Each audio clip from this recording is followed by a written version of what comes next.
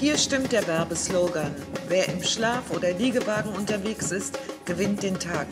Egal ob Urlauber oder Geschäftsreisende, Städtetouristen oder Politiker. Wer spät abends abfährt und ausgeschlafen morgens ankommt, spart Zeit, Nerven und Geld für Hotel, Flug und Taxi. Außerdem kann man im Nachtzug herumlaufen, im Speisewagen noch ein Bierchen trinken. Aber halt! All das will die Deutsche Bahn nicht mehr.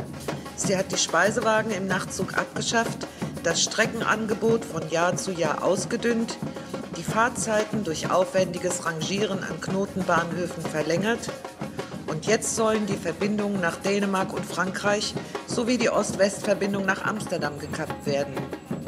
Zürich, Italien, Prag, Warschau und Amsterdam, München, Zürich, mehr soll nicht übrig bleiben von Europa. Warum?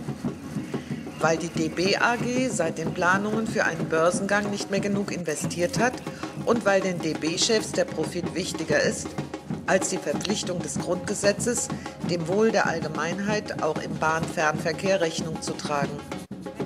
Wer Artikel 87 E Grundgesetz ernst nimmt, muss die Nachtzüge erhalten.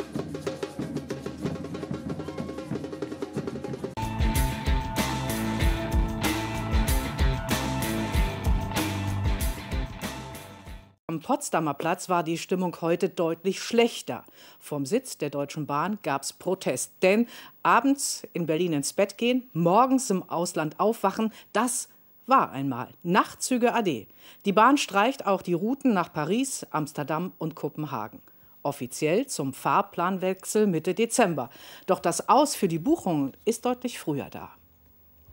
Schon ab Ende Oktober fährt kein Nachtzug mehr von Berlin nach Kopenhagen.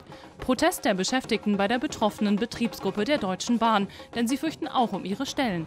Ab Mitte Dezember soll dann auch kein Nachtzug mehr nach Paris und Amsterdam fahren.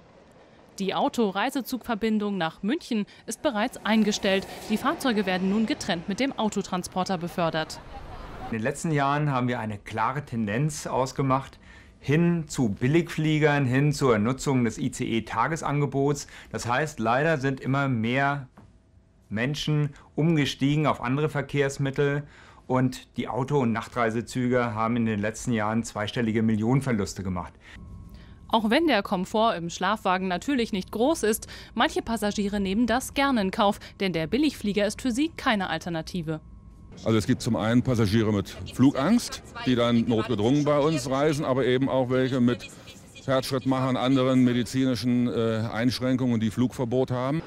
Keine Nachtzüge mehr in einige europäische Hauptstädte. Die Fahrgäste heute am Hauptbahnhof nicht begeistert. Man kann sich da ausruhen. Also ich finde es bedauerlich, dass das eingestellt wird. Ich kenne viele Bekannte, die eben nach Südfrankreich reisen oder in andere Destinationen und diese Möglichkeit genutzt haben bislang. Je weniger eingestellt wird an der Bahn, desto weniger ist auch auf der Straße. Trotz zu weniger Passagiere auf den Strecken von Berlin aus ist der Nachtzug, so die Deutsche Bahn, kein Auslaufmodell. Mit den eingesparten Zügen sollen andere Nachtzugstrecken deutschlandweit aufgestockt werden.